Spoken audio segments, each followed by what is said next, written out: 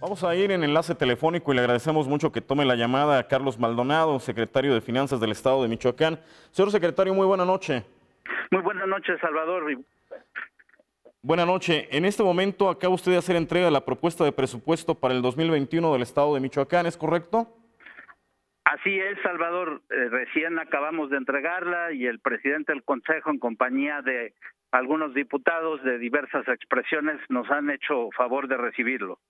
¿En qué consiste esta propuesta, señor secretario? ¿Por qué es trascendente para el Estado de Michoacán en un 2021 que a todas luces, no solamente para Michoacán, sino en el país, se avecina complicado por muchos factores que si quiere ahorita podemos después eh, señalar algunos?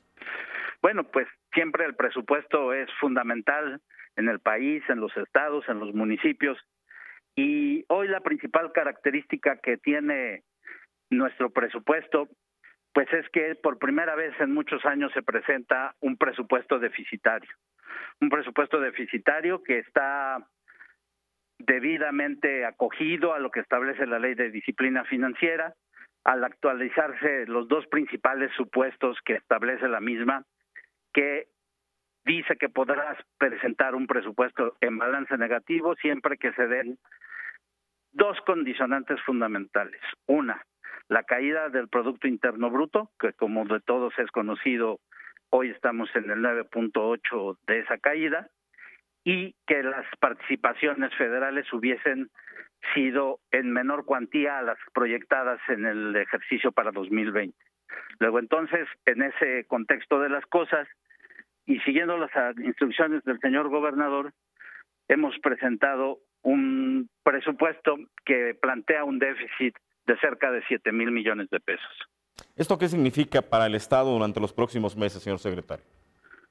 Significa que hemos puesto a consideración del Congreso local el análisis de este presupuesto con diversas modificaciones en la ley de coordinación fiscal, en la ley de Hacienda, en la ley que constituirá en su momento una vez aprobada el presupuesto de egresos, el presupuesto de ingresos, y que seguramente con la responsabilidad de la que se ha conducido la actual legislatura, pues recibiremos retroalimentación y al final ellos aprobarán lo que consideren lo mejor para el Estado.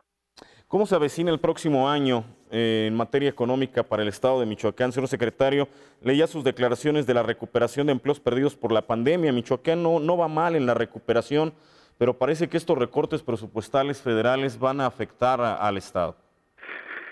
Efectivamente, eh, el Estado está en tercer lugar en el crecimiento de empleos a nivel nacional y por otro lado, pues sí, el, el, el Estado enfrentará un 2021 complicado, igual que todo el país. Ya de manera directa viviremos las consecuencias de todo este año de la pandemia con COVID-19. Pero pues no hay reto que no haya al que no se le pueda hacer frente. Seguramente con el apoyo de todos los ciudadanos, de todas las ciudadanas y con la conducción que hasta el día de hoy ha tenido el señor gobernador en materia de finanzas en el estado, pues seguramente tendremos que salir avante. Será un año muy difícil, pero no por eso habremos de cejar en el esfuerzo para que las cosas resulten de la mejor manera posible. ¿Cuál es el reto, si pudiera señalárnoslo para la gente que nos, que nos ve, la gente de todo el Estado? Sabemos, habrá gente que entienda las finanzas eh, del Estado de una manera, otras con menor o mayor conocimiento de, otra manera. ¿Qué representa enfrentar un año 2021 eh, con los, los recortes presupuestales que ha habido al Estado de Michoacán? Pues mira, los recortes presupuestales andan del orden de siete mil setecientos millones de pesos aproximadamente, si lo comparamos con lo que en el 2020 recibimos, ¿no?